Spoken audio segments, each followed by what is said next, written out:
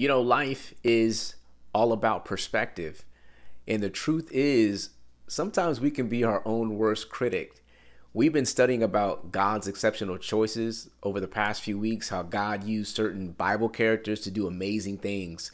And it could be easy to see how God might use a Abraham or a Jacob or a Gideon to do some amazing task, but we don't always see ourselves as doing something amazing. Well, today, it's all about you. Today, you are God's exceptional choice. And I want to let you know God doesn't make mistakes. God knows everything about us from the beginning of time, the good, the bad, and everything in between. And God still chose you. And I want to let you know that God not only chose you, but He set aside blessings just for you. Listen, we've got an amazing lesson. I'm excited as always. Let's see what God has for us.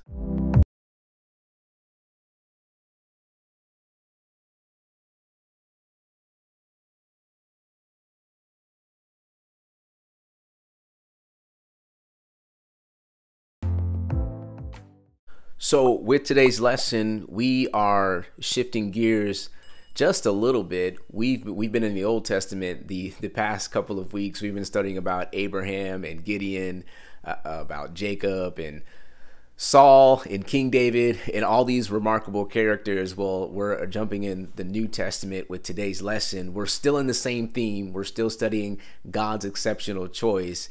Uh, but today we get to dive into one of uh, one of the Pauline epistles, and I gotta tell you, I'm excited. Um, I'm excited about uh, just this passage of scripture. Um, it it it's hard not to be excited about the book of Ephesians. It's it's a, it's a great book. Um, it's got a lot of good information in it, and um, so we're kind of just gonna dive right into it since we're opening up with the first chapter. Just give you just a little bit of background around the book of Ephesians. Now, in the original text uh, the the city of Ephesus or the Ephesians people were not mentioned originally. So that was something that was actually got added later, and a lot of biblical scholars draw the conclusion because of that that this was likely a circular letter, which means that this was a letter that Paul would have written not necessarily to a specific church, but it was intended to be sent from the church of Ephesus to the church of Philippi, you know, to the church of Thessalonica, and just sent around to the different churches just to kind of give instruction. Um, and that's kind of why, if, if you know a little bit about the book of Ephesians, it's not addressing a specific issue. Most Pauline epistles, uh, he's he's addressing something that's going on. He either got wind of something or he personally, you know, witnessed something, and he wrote a letter to try to address what's going on. Like the Book of Corinthians, the, the you know the people in Corinthians were in Corinth were being heavily influenced by Greek culture, and a lot of that was affecting their doctrine, and it was was you know it was swaying some of the things that they believed about Jesus Christ and that's when Paul had to write, you know, and say, Come out from among them and be separate, you know. So usually Paul is addressing a specific issue but not so in the book of ephesians. Uh, in this book he spends the first kind of three chapters just describing some some doctrine issue some doctrines uh, that we should believe. And then he spends the last three chapters talking about the application of those, some of those doctrines in what we believe as christians. So um, it's it's a really uh, concise, it's a compact book, um, but full of a lot of really good information. You know, um, the Church of Ephesus or the city of Ephesus was really centralized in the Roman Empire. It was located in Asia Minor, which was in modern day Turkey. Um, so, because it was probably one of the more major cities in that area, that's why a lot of scholars conclude that this book was given the name Ephesus because that, or Ephesians, because that would have been probably the main city, you know, in in that area. But circular in nature, um, which was something that was common in ancient times, you would have something that was called an imperial edict, and um, that was a ruler's way of getting information disseminated throughout the empire. Now you might be surprised to know, but they didn't have the internet in ancient times. So if they wanted to get information out to the masses, they would have to write an official letter, you know, put the uh, king's or the imperial's name, seal, uh, face on it, some kind of way to identify it, and then they would send it from city to city to outpost to outpost and it would be read uh, by officials and then it would go out to the local communities and that's how they would send out important information. Well paul you know being a roman citizen uh, he would be very familiar with roman culture and use some of their natural uh, institutions in order to facilitate uh, you know this this fledgling christian church. Uh, so he used that uh, as a means to, to write letters. Um, it is believed that Paul wrote this while he was in prison, you know, during during the, the latter end of Paul's ministry, uh, he was in prison. If you read about, uh, I believe it's in Acts chapter 21, Paul got arrested when he was going to do ministry in Jerusalem. And uh, we we had a lesson a few weeks ago about a miracle on Malta, and that was Paul traveling from Caesarea to Rome, and he he crashed into the uh, to the Isle of Malta on his way to Rome. But when he finally got to Rome, he was placed on house arrest, and he was there for quite a few years. Um, he wrote a few books while he was there, he wrote the book of Philemon.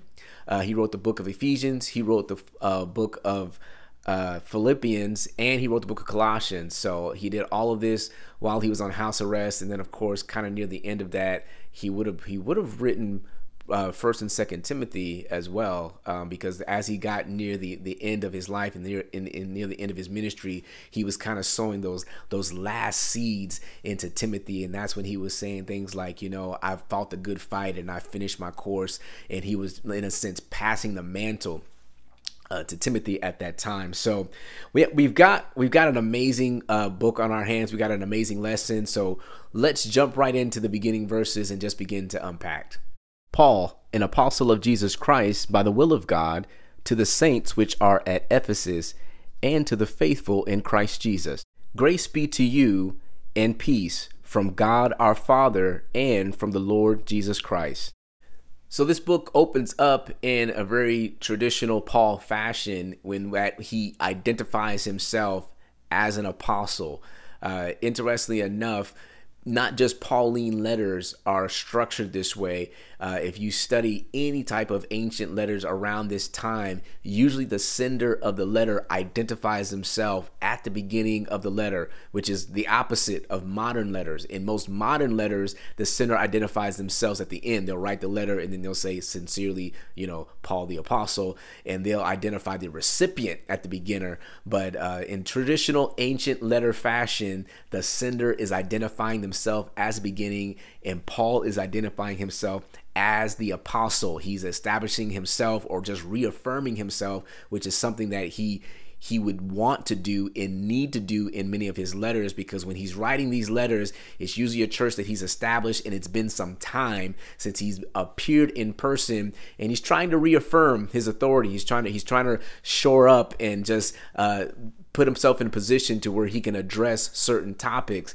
Uh, in First Corinthians chapter 15, verse 8, Paul writes, he says, And last of all, he was seen of me. Who is he? We're talking about Jesus Christ, specifically the risen Savior. He's saying he was seen of me also as one born out of due time. So Paul in uh, 1 Corinthians 15 was talking about all the people who had witnessed the risen Savior, and he had went through and talked about how the apostles had seen him but then he had also said that he, when he was saying one born out of due time, he was saying that he did not physically see Jesus, but he saw Jesus through a vision in Acts chapter 9, verse 5. He said, uh, it says, and he said, Who art thou? And the Lord said, I am Jesus whom thou persecutest. So uh, Paul is as always reaffirming his his apostolic position as one who has seen the risen Savior.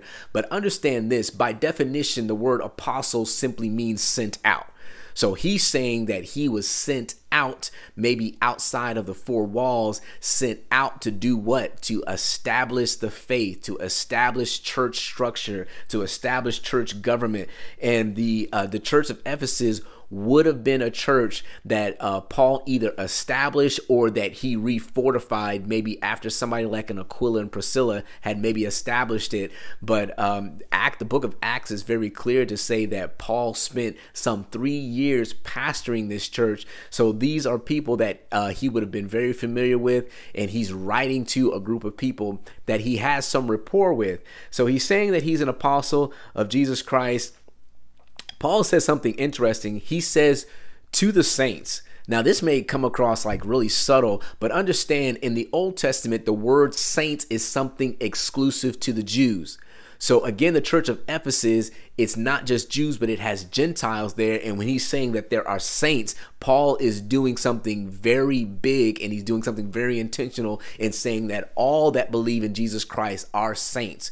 Well, what does it mean to be a saint? By definition, a saint uh, um, is someone who is holy, someone who's sanctified, someone who's consecrated. So rather than saying those three things, saying that I'm holy and I'm set apart and I'm sanctified, which means that you're purified, and then consecrated means uh, set aside for the purpose of God, you would just simply say, I'm I'm a saint, you know, and uh, that puts Christianity in a in a very different basket, you know, particularly in contrast maybe to the Jewish faith, but also to to Roman Catholicism, because uh, you know, uh, as far as the Roman Catholic Church is concerned, they only have certain individuals that they identify as as saints, and there's certain rules and stipulations. Uh, but one thing we do know is that you you have to be dead before they qualify you as a saint. But that's not uh, according to our Christian faith. You don't have to be dead to be a saint Paul is writing to people that are alive and he's saying that they are saints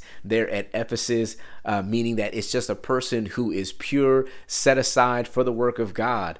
Um, so then he goes on to say, Saints which are at Ephesus and to the faithful in Christ Jesus. So this is letting us know that he's not just writing to the people at Ephesus, but he's writing this letter to a much larger audience, which again speaks to how this this letter was likely a circular letter that would have went out to uh, several churches there in Asia Minor. So then Paul goes on to use a very uh, traditional phrase in verse number two when he says, Grace be to you and peace from God our Father. This is not a statement, this is a prayer. This this is this is an, an acknowledgement to whoever would read this and receive this. He's saying grace and peace to that person. So he's praying that over their lives. Again, this is something that you see uh, a lot in, in Pauline letters, but certainly in ancient times, this was a typical greeting. Blessed be the God and Father of our Lord Jesus Christ, who hath blessed us with all spiritual blessings in heavenly places in Christ, according as he hath chosen us in him before the foundation of the world, that we should be holy and without blame before him in love. In verse 3, uh, we are already getting in some exciting territory because the verse is telling us that God has spiritual blessings for us and not just spiritual blessings, but blessings that are in heavenly places. Now, Paul is going to spend uh, a good portion of not only this chapter, but a good portion of the book of Ephesians kind of articulating and explaining to us what these spiritual blessings are, you know, and that's exciting. You know, I, I, hope that that's, that stirs your spirit to know that that God not only made provisions for us to be redeemed and for us to be saved, which we're going to get into later on in the text, but God blessed us, which means that God is setting us up to give us everything that we need to have good success into Him, but to have a, a, a wonderful experience in God throughout all eternity. You know, um, one thing that is so critical to, to, to point out to this is that it is spiritual blessings in heavenly places, not natural blessings in earthly places. You know, and uh, I always like to speak to the culture when when I when I do these lessons, you know, because when we talk about being God's exceptional choice, you know, in order for you to really appreciate what it means to be chosen by God, you know, we we have to have an appetite for spiritual things. Amen. You know, and if if you don't have an appetite for spiritual things, it can be hard to really appreciate the love of God. You know, that's a very popular book out right now. It's called The Five Love Languages. If you don't have it and you're married or you're in a serious relationship, I encourage you pick that book up. But one of the things that the book mentions in the five love languages is it talks about how there can be a miscommunication in love languages. You have to love somebody in a way that they can understand that you are loving them. So if it's a person that, you know, their love language is uh, words of affirmation, well, you have to use words of affirmation in order for them to receive the fact that they're being loved. Sometimes I wonder do we as Christians, as modern day contemporary Christians, do we understand the love language of God? Sometimes I wonder that because uh, when when you hear preaching and you hear prophecies and it, all of it is in this natural secular realm, how people are prophesying cars and prophesying money and you know promotions and all this natural stuff. That stuff is well and good, but understand God is trying to give us spiritual blessings uh, that not only have a spiritual benefit but that are in heavenly places. Why?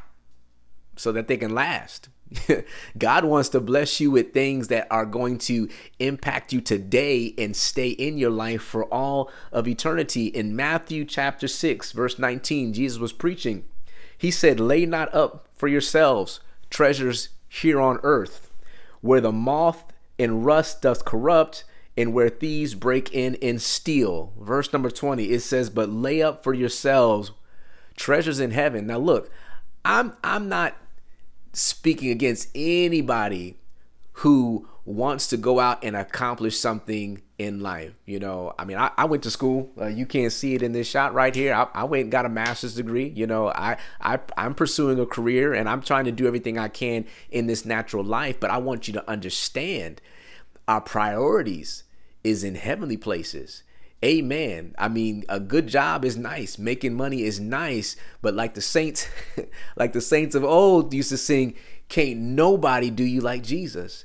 Amen. So the only things that's going to really provide that that satisfying uh, uh, feeling that that you are eternally loved are spiritual blessings in heavenly places. And that's what paul is trying to in a sense he's trying to whet our appetites here at the beginning of this letter to let us know that this is something that god has for us. And then if you if you you see there's there's a colon there at the end of verse 3 which means he's about to go on and start explaining this stuff which is what we're going to see in in some of the verses to come now verse number 4 uh, a very pivotal word. I'm actually surprised verse number four is not the key text because the word chosen isn't in there. That's the first time that we're seeing the word chosen in, in this passage, but it's saying that according as he, he being God, hath chosen us in him before the foundation of the world what does it mean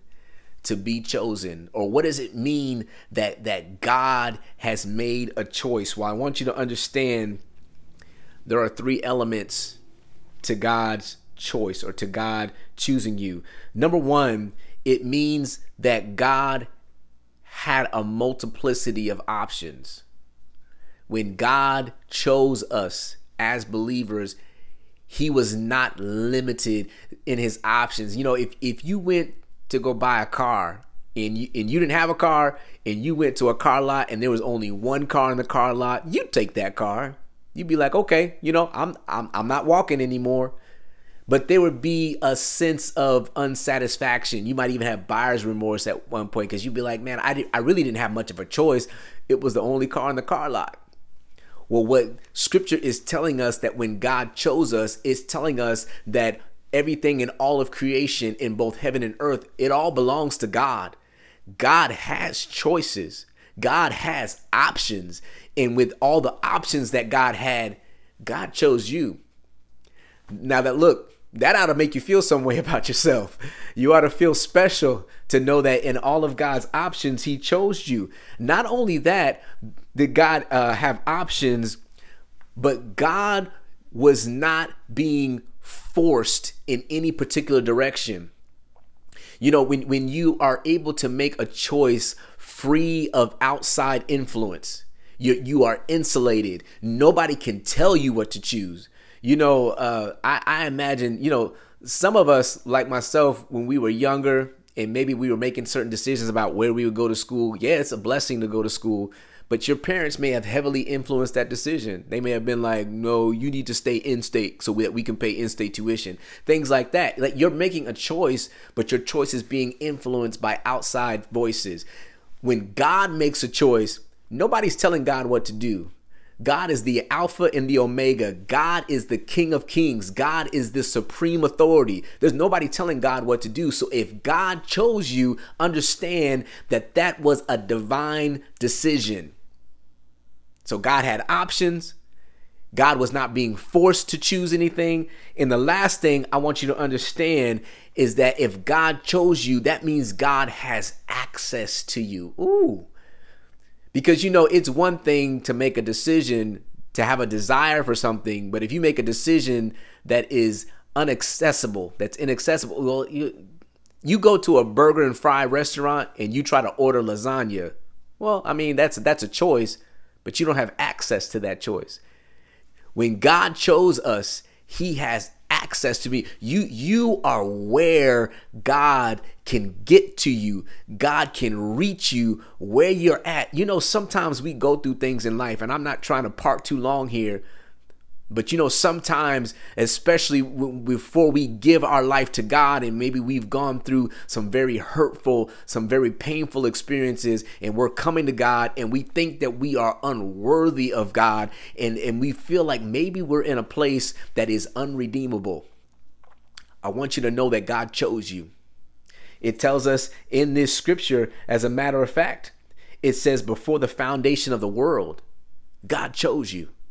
You are accessible right where you are, right what you've gone through. I don't care what it was. You know, people may have a hard time wrapping their minds around God redeeming you, but it is a simple thing to God. It is it is a light thing to God. God would love nothing more than to redeem you. Amen.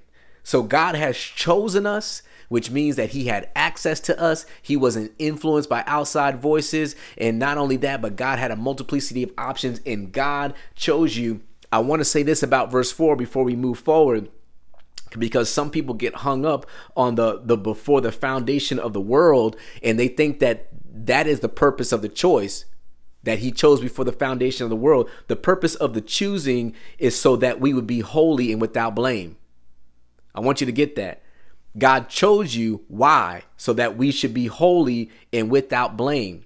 Now unto him who was able to keep us from falling and present us faultless. Listen, God wants us to be holy and without blame. That is God's choice for our lives. Having predestinated us unto the adoption of children by Jesus Christ to himself according to the good pleasure of his will, the praise of the glory of his grace, wherein he hath made us accepted in the beloved.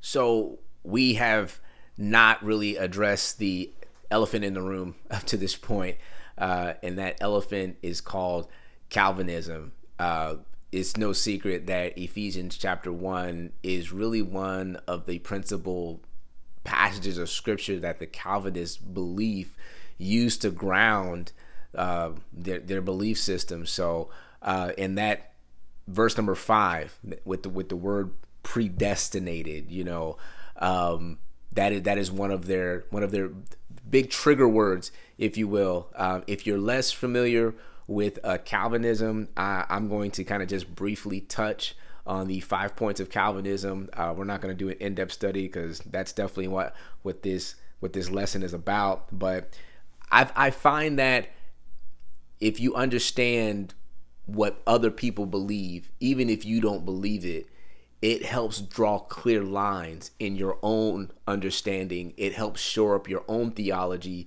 by understanding why other people believe. Uh, because scripture says that iron sharpens iron. it doesn't mean that that iron has to believe the same thing that you believe. It just means that it needs to be iron.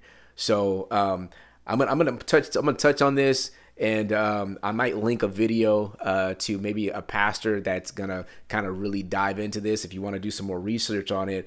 But the five points of Calvinism, the the acronym is TULIP. Um, some of you might be familiar with that. Number one is total depravity. Uh, total depravity means that man is inherently evil, uh, and that man, man uh, is inherently sinful and in need of redemption, which um, isn't a hard concept to agree with. Number two is unconditional election. Now, this is one of the challenging concepts of uh, of Calvinism because what it's saying is that uh, people who are redeemed uh, were determined to be saved from the beginning of time, and there's nothing that they needed to do, and there's nothing they can do about it. So, in other words, the idea behind Calvinism is that when we're saying that people are predestinated, is that there's a fixed number out there that God said that this number of people are going to be saved. Number two is limited atonement, which means that, in a sense, that salvation isn't available for everybody. Yikes. Uh, I is irresistible grace. It's saying for those that were predestinated and chosen to go to heaven, um, they can't help but receive the grace of God because the grace of God is irresistible and God is going to save them whether they like it or not. And then, of course, those who are not predestinated and not chosen, uh, they can't be saved uh, no matter how much you witness to them, no matter how much you preach to them, no matter you know what it is that they believe. If they're not predestinated, they're not going to heaven and then uh, the P is the preservation of saints, uh, which essentially goes into the once saved, always saved, saying that no matter what uh, the elect or whatever, no matter what the, those who are predestinated do, they're still going to heaven. Uh, and that is the belief of, of the Calvinistic faith, which which really rests against what's going on here in Ephesians chapter one, verse five. Now, I want you to understand something that just because the word predestinated is there, it does not mean that God intended for a certain number of people to go to heaven and a certain number of people to go to hell. Where am I getting that from? Well, the Bible talks about in Matthew chapter 25, verse 41, it says, Then shall he say unto them on the left, Depart from me, ye cursed, into everlasting fire. Get this prepared for the devil and his angels. So scripture is very clear that hell was not created with mankind in mind. The hell was created for the devil and his angels. This is what God intended for people that uh, were being used by Satan and Satan himself to work against the kingdom of God. Revelations chapter 22, verse 17, it says, And the Spirit and the bride say, Come, and let him that heareth say, Come, and let him that is athirst come, and whosoever will, let him take the water of life freely. This means that salvation is available to everybody whosoever will. It's not restricted. For God so loved the world that he gave his only begotten Son, that whosoever believeth in him, whosoever. It's it's not it's not restrictive. It's it's not denying any certain people's access, but it's saying that whoever comes to faith, to many as believe on them, them gave you the power to come to become the sons of God. If you have faith, and you want to utilize that faith that God has given you, well, salvation is available to you. So this is not saying so God in his in his infinite love saying that uh, he has predestinated us unto the adoption. So this is it, only the only thing we should understand from the word predestinate is that this was God's intent from the beginning. And and what should be a, a beautiful concept, unfortunately, it is it is made ugly and it is distorted. But what what Paul is trying to let believers know is that God always had it in mind to send his son. He always had it in mind for Gentiles to be saved. God always had it in mind that his covenant would be extended to all humanity. You know, even though that God's covenant originated in the Old Testament exclusively with the Jews, this is letting us know that it was predestined from the beginning that God would extend himself to everybody. Having predestinated us unto the adoption of children by Jesus Christ himself. Adoption is huge, particularly in Roman culture. Because in Roman culture or in ancient culture, children were property Children could be sold into slavery. they could be killed. Ancient times, you could just kill your child and you wouldn't have to answer for it. It was your child. So understand that if a father decides to adopt a child, understand that that is they are being brought into a privileged position to where they are with with no equivocations a part of the family. And, understand, and what is inherent that if someone is choosing to adopt you and bring you into the fold, that there's some love there, that there's some good intention there, that that that uh, that that there is some some hopeful future associated with being adoption. How do we know that it's a hopeful future? Well, look at this. It says according to his good pleasure or according to the good pleasure of his will. It is the good pleasure of God's will that at the beginning of time that you would be adopted into brought into his faith to the praise of the glory of his grace, wherein he hath made us accepted. We we would not be accepted had it not been for the grace of God. There's no way. For by grace we are saved, and not of our own works, lest any man should boast. Said, wherein he hath made us accepted in the beloved. In whom we have redemption through his blood, the forgiveness of sins according to the riches of his grace wherein he hath abounded toward us in all wisdom and prudence. Scripture is telling us in verse 7 that we have been redeemed by the blood of Jesus. This is a financial term. This literally means to be purchased out of slavery we have been redeemed by the blood. Now, this is something that uh, Paul goes into extensively in, in the book of Romans, particularly in Romans chapter 6, where he talks about that when we were uh, unregenerated, that we were slaves to sin. But then he said in Romans 6 and 18, and then being made free from sin, we should be the, the servants of righteousness. In other words, we were we were slaves to sin, but now having been redeemed, bought by by the blood of Jesus, purchased our got our freedom scripture tells us in turn become a servant or a slave to the righteousness of god so this is telling us it, it, is, it is a remarkable concept because when you talk about redemption you're talking about a, a debt that is owed you know if, if you go to a store and you have a coupon and that coupon is a you know 20% off coupon when you use that coupon they say that you're redeeming that coupon, right? That literally means that that coupon is a debt that the business owes you. They, they owe you that money. They, they owe you that discount. So, and, and, uh, if you got an accounting background, you know that honestly, coupons are uh, considered a liability uh, to a business. It's actually recorded as a liability because it's a debt instrument. So when you talk about redemption, you're talking about a debt being paid. Jesus paid a debt for us, a debt that we could not pay for ourselves. He bought us out of slavery. It says the forgiveness of sins according to the riches of his grace. Wow. This is this is everything that's being done. We we understand we're, we're still stemming from verse number three, where it talks about spiritual blessings in heavenly places. Understand that one of the spiritual blessings that God has for us is His grace, the riches of His grace. Wow. God, the, the, the abundance and the, the, the purchasing power of God's grace. It is wealthy. That's amazing. Wherein he hath abounded toward us in all wisdom and prudence. Another spiritual blessing in heavenly places is wisdom and prudence. Scripture says, if any man lacketh wisdom, do what? Let him ask of God, who gives liberally. God, God is not stingy with the wisdom that he gives us.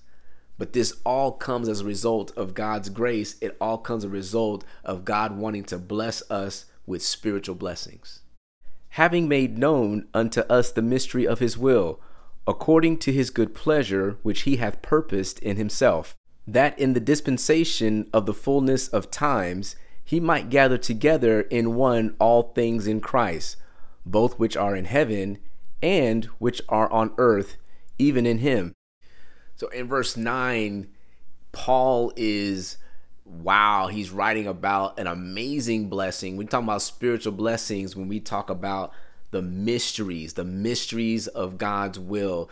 because understand that the the the knowledge of the kingdom is privileged information. This is something that not all of creation has access to. This is something that God has reserved for those who are exclusively his own the, the, the mysteries of his will and this is something that that is spoken of through scripture particularly in in paul's uh, epistles if you look uh, in First corinthians chapter 2 we're just going to kind of touch on this a little bit but looking at verse number 7 it says but we speak the wisdom of god in a mystery even the hidden wisdom which God ordained before the world unto our glory. So, this again is speaking back to the wisdom of God that God has predestinated for us since the beginning of time he says, which none of the princes of this world knew. He's talking about the enemies of the kingdom and the enemies of God that, that persecuted and crucified Jesus. He says, For had they known it, they would not have crucified the Lord of glory. If they knew that by crucifying Jesus, it was a part of the redemptive plan of God, they never would have crucified him but too late. so they crucified him. He's died on the cross, and now they have released the ultimate plan of God, which is up to that point was a mystery. But verse number nine says, But as it is written, I have not seen nor ear heard, neither hath it entered into the heart of man the things which God hath prepared for them that love them. So it's almost it's it's letting us know that even as believers, God is revealing us so many things, but God really reveals things to us as we walk in Him, and even some things we won't know until we get to glory when we when we see him we should be like him and that's when we will know literally all things but until then many things are a mystery. Verse 10 it says, But God hath revealed uh, them, to, uh, them unto us by his Spirit, for the Spirit searcheth all things, yea, the deep things of God. How is it that we can know the mysteries of God and receive this particular uh, uh blessing that, that's in heavenly places? We, we do it through the Spirit. I'm gonna do verse 14, and I'm and I'm, I'm gonna let this passage go, but read through this when you got a chance. Verse 14 it says, "But the natural man receiveth not the things of the Spirit of God, for they are foolishness to him." Have you ever tried to explain a spiritual concept to somebody that was outside of the faith? It's it's almost like you're just talking to a wall. The natural man does not receive the things of the Spirit, and it's it's it's interesting to think that when you receive the revelation of these mysteries by the Spirit, even in your best effort to give it to people, they're spiritually discerned and they, and they, and they won't receive it. So so this is this is one of these these particular blessings that verse 3 talks about these spiritual blessings that are in heavenly places mysteries of God the mysteries of his will back in Ephesians chapter 1 looking at verse 10 it says that in the dispensation of the fullness of times he might gather together. Understand verse 10 is telling us that there is an appointed time that God has really predestined that all of creation should be redeemed to him. It's both in heaven and in earth. So that uh, if you, if you read any anything in the book of Revelations, you would read about the new Jerusalem and the new earth, and that there's a appointed time where God is going to redeem everything in creation to Himself. Um, but verse 10 is a, is a very deep passage because when you use the word dispensation, it, it's showing that how God moves in times and seasons and is saying that everything that God does is strategic and it's calculated and it's all according to his divine will in whom also we have an obtained an inheritance, being predestinated according to the purpose of him who worketh all things after the counsel of his own will, that we should be to the praise of his glory, who first trusted in Christ, in whom ye also trusted, after that ye heard the word of truth, the gospel of your salvation, in whom also after that ye believed, ye were sealed with that Holy Spirit of promise which is the earnest of our inheritance until the redemption of the purchased possession unto the praise of his glory. In verse 5, we had mentioned that we are adopted, but now in verse 11, we're moving to a place of inheritance. Understand, an inheritance is something that's reserved for the children. So when it, we've we've moved into a place now where we've been adopted into being the children of God, and now God is saying that there are provisions that are set aside exclusively for us by virtue of the fact that we are His children. We've we've got an inheritance in God. Again, we are talking about spiritual blessings in heavenly places um, want to want to point out to you just something that's very interesting is that not only does God have an inheritance with us, but Scripture talks about how we are joint heirs with Jesus Christ. Amen. So it's not even like we, you know, it's it's it can be awkward when you go to the reading of a will and you know certain people get some things and certain people get less things and it's just like oh i guess i'm less loved because i didn't get as much as this person but scripture's telling us that we we are joint heirs with Jesus Christ. In other words, saying that God is is regarding us with the highest level of regard that He can regard His children. In, in Romans 8 and 16, it says, "In the Spirit itself bear witness with our spirit that we are what the children of God."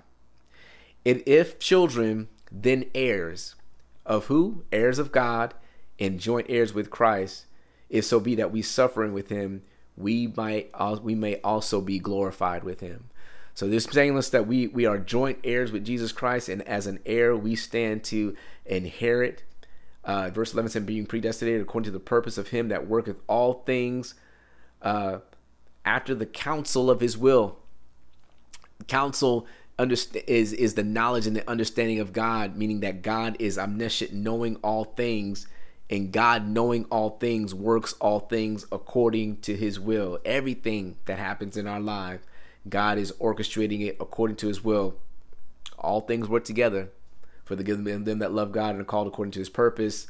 And then finally, uh, in verse number 13, it says that ye were sealed with the Holy Spirit of promise. Understand in ancient times, anytime official documentation, I want you to get this. Anytime official documentation was sent, it was sealed, wax, and then the insignia of an official person was imprinted in that wax as a seal to establish authority, to establish, get this, authenticity. You know who it came from based on the seal that was on it. We are sealed by the Holy Spirit how do people know that you belong to God? Because of the spirit that you operate under. I want you to get that. How do people know that the mark of God is on your life? By, by how you live and you operate in the Holy Spirit. I want you to understand that a seal would normally have the image of whoever the seal belongs to. it would have the image. So when it tells us that we are sealed by the Holy Spirit, it means that the image of God is impressed upon our lives. Look, this text is blessing me. It's it's telling me that God puts his image in us through his spirit. And then verse 14 again, we're talking about look, the, the, blessings just keep going. They just keep going. These spiritual blessings in heavenly places, being adopted, we got an inheritance, we're sealed by the Holy Spirit. And then in verse 14, it's telling us that the Holy Spirit is just our earnest. It's it's our down payment. It's it's just it's not all that God has for us, but it's just it's giving us uh, uh something to hang our faith on it's telling us no, first of all, that the Holy Spirit came from heaven. It's got to be a substance of what is promised, and we are promised. Uh, we are promised spiritual blessings in heavenly places. So if our inheritance is in heaven, and the spirit is a down payment or it's an earnest, that means the spirit came from heaven. You got a piece of heaven living on the inside of you. What a blessing. Uh, what what what more can you ask for? How how can a car or a house compare to a piece of heaven in the midst of your life? So it's saying that it's an earnest of our inheritance until the redemption of the purchased possession. That means that when we get redeemed or that when God comes back to receive us, we will get the full inheritance that he has for us. Listen, I want you never to forget that you are God's exceptional choice. God chose some amazing people to do some amazing things in scripture and understand God chose you too. And that there are some remarkable things that God is doing through your life, that He's going to continue to do through your life. And truly, the best is yet to come.